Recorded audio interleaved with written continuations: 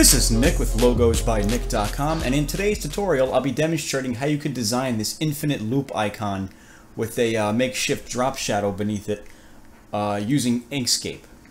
And so we'll go ahead and open up Inkscape. By the way, if you'd like to know how you can make Inkscape appear dark and with these custom icons, a link to that information will be in the description of the video. So the first thing we'll do is set up the page so that we're all working similarly. We'll go to uh, File, Document Properties. We'll set the display units to pixels, px. We'll uncheck the box that says Show Border, uh, Show Page Border. Close out of that. And then we'll go to View. Make sure we have Custom selected. We'll zoom in at one to one. Then open up the Align and Distribute menu with this button up here. We'll want Last Selected chosen from this drop down. And then we'll open up the Edit Objects, Colors, Gradients, and Stroke menu with that button there. So the first thing we're going to do is create a square. So let's come over to the Squares and Rectangles tool and hold Control and Shift on the keyboard and click and drag to create a perfectly symmetrical square like that. And I'll take the opacity of that and bring that down roughly in half. And I'll convert that to a path by going to Path, Object to Path.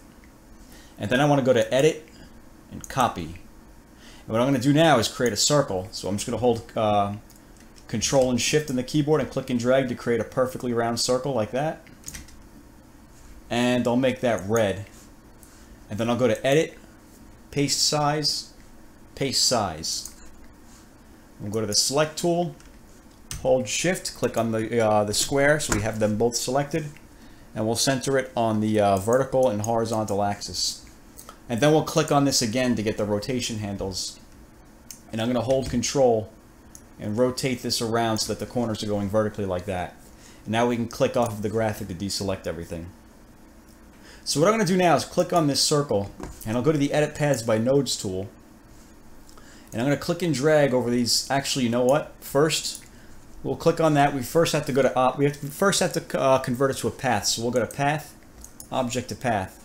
And now what we can do is click and drag over these top two nodes and come up here to the far left up here where it says insert new nodes into selected segments. Go ahead and click that.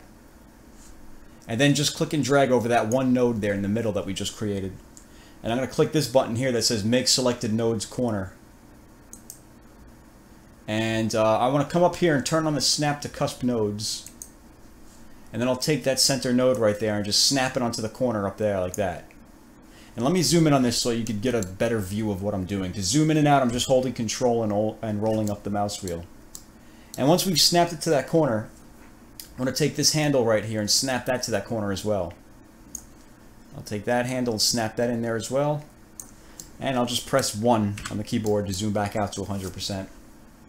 Now we go to the Select tool, take this black square and just press delete on the keyboard to get rid of that. Then I'll take this shape right here and I'm going to click on it again to get the rotation handles and hold control and rotate it clockwise until it's sitting vertically like that. I think that was one, two, three, four, five, six, six steps. And then I'll duplicate that by hitting Control D. And I'll flip that horizontally with this button up here. Flip selected objects horizontally. And I'll just come and snap these uh, snap these two corners together like that. And then I'll click and drag over both of them and I'm going to hold shift and click on the uh, color green to give it a green outline. And then I'll click on the X over here to get rid of the fill color.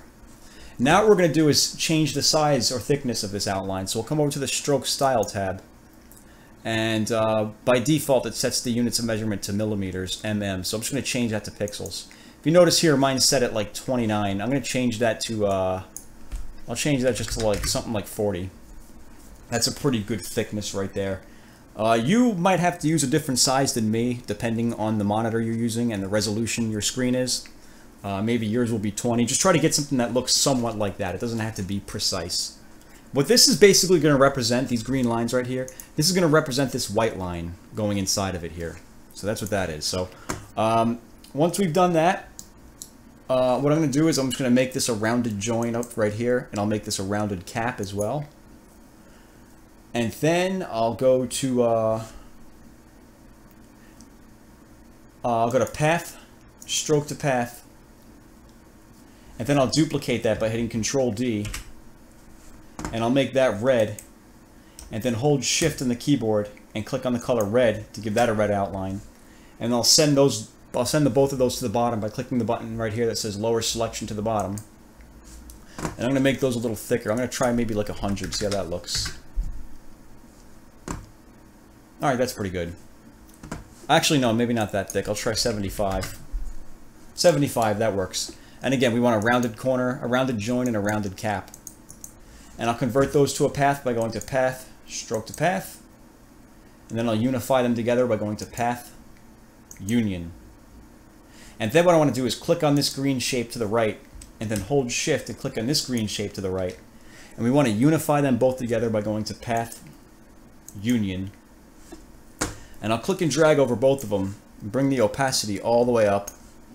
Click off the graphic to deselect everything. And then I'll click on this uh, green shape, and I'll just make that white. And I'll click off the graphic to deselect everything. So what we have to do now is get rid of this segment of the white shape because we're going to make it look like this side is overlapping the other one. So to do that, I'm going to zoom in over this. I'm going to hold control and roll up the mouse wheel.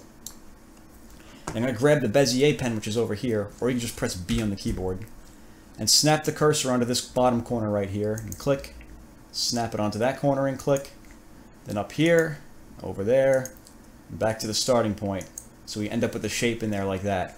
And I'm going to make that green I'm going to get rid of the, the black outline by holding shift and clicking the X. And I'll bring the opacity down about in half like that. Then I'll go to the select tool. And then I want to zoom out by holding control and rolling down the mouse wheel. And I want to click and drag over everything and click on it again to get the rotation handles and hold control and rotate it. Grab the bottom right corner and rotate it counterclockwise. One, two, three. Three steps like that so that this portion is going vertically and horizontally perfectly like that. Like we have this little shape in here is now an, an upright square. So that's what we want there. And I'll zoom back in over this. First, what I'm going to do is I'm going to create the little drop shadow here.